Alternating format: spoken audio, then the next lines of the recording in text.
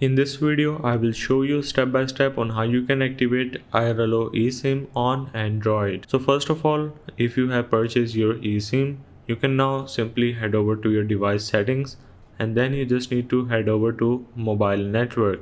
Now in case you have Samsung or Google Pixel device, you need to simply head over to the connections and then you just need to go for the mobile network.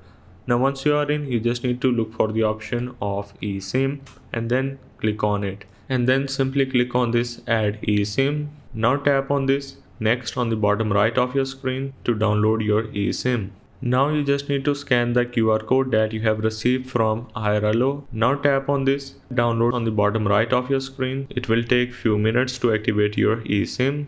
And once you have downloaded your eSIM successfully, you can now head over to your settings and then go to the eSIMs again.